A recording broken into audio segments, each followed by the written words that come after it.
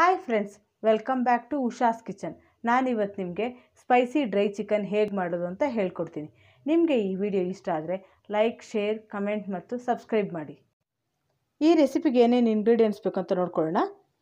ಅರ್ಧ K G ಆಗೋಷ್ಟು ಚಿಕನ್ನು ಎರಡು ಸ್ಪೂನ್ ಆಗೋಷ್ಟು ಕೊತ್ತಂಬರಿ ಬೀಜ, ಮೂರು ಒಣಮೆಣ್ಸಿನ್ಕಾಯಿ, ಮೂರು ಬ್ಯಾಡಿಗೆ ಮೆಣಸಿನ್ಕಾಯಿ, ಒಂದು ಚಕ್ಕೆ, ಕಾಲು ಟೀ ಸ್ಪೂನ್ ಸೋಂಪು, ಎರಡು ಏಲಕ್ಕಿ ಮತ್ತು ಎರಡು ಈರುಳ್ಳಿ ಸಣ್ಣದಾಗಿ ಹಚ್ಚಿಟ್ಕೊಂಡಿದ್ದೀನಿ.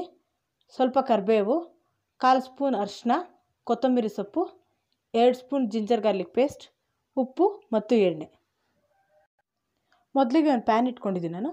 ಇದಕ್ಕೆ ನಾನು ಒಣಮೆಣ್ಸಿನ್ಕಾಯಿ, ಏಲಕ್ಕಿ, ಸೋಂಪು, ಚಕ್ಕೆ, ಧನಿಯಾ. ಎಲ್ಲವನ್ನು ಡ್ರೈ ರೋಸ್ಟ್ ಮಾಡ್ಕೋಬೇಕು. ಮೂರು ನಿಮಿಷದ ಕಾಲ ಫ್ರೈ ಮಾಡ್ಕೊಳ್ಳಿ.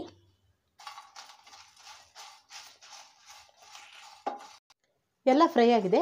ಇವಾಗ ನಾನು ತಣ್ಣಗಾದ್ಮೇಲೆ ಮಿಕ್ಸಿಗೆ ಹಾಕ್ಕೊಂಡು ಪೌಡ್ರ್ ಮಾಡ್ಕೊಳ್ತೀನಿ. ನೋಡಿ ಈಗ ಈ ಥರ ಪೌಡ್ರ್ ಆಗಿದೆ.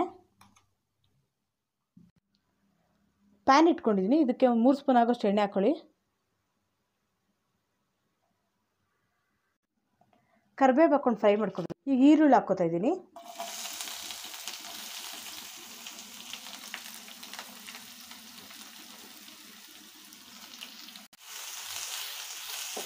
ಈರುಳ್ಳಿನ ಫ್ರೈ ಮಾಡ್ಕೊಳ್ಳಿ. ಈರುಳ್ಳಿ ಫ್ರೈ ಆಗಿದೆ. ಇದಕ್ಕೆ ಚಿಕನ್ ಹಾಕೋತಾ ಇದ್ದೀನಿ.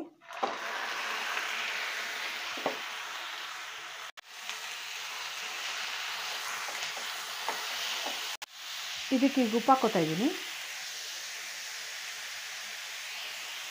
ಅರ್ಶಿನೂ ಹಾಕೋತಾ ಇದ್ದೀನಿ. ನೀಟಾಗಿ ಮಿಕ್ಸ್ ಮಾಡ್ಕೊಬೇಕು ಇದಕ್ಕೀಗ ಶುಂಠಿ ಬೆಳ್ಳುಳ್ಳಿ ಪೇಸ್ಟ್ ಹಾಕೋತಾ ಇದ್ದೀನಿ.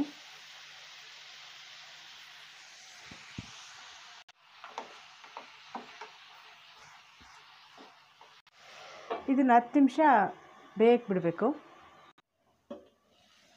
ನೋಡಿ, ಇದೀಗ ಡ್ರೈ ಆಗಿದೆ. ಚಿಕನ್ ಸಹ ಬೆಂದಿದೆ ಇದು. ಚಿಕನ್ಗೆ ನಾನು ನೀರು ಹಾಕಿಲ್ಲ, ಇದು ಸ್ಟೀಮಲ್ಲೇ ಕುಕ್ ಆಗಿದೆ. ಇದಕ್ಕೀಗ ರುಬ್ಬಿಟ್ಕೊಂಡಿರೋ ಪೌಡ್ರ್ ಹಾಕ್ತಾಯಿದ್ದೀನಿ ನೀಟಾಗಿ ಇದನ್ನು ಮಿಕ್ಸ್ ಮಾಡ್ಕೊಳ್ಳಿ ಈಗ.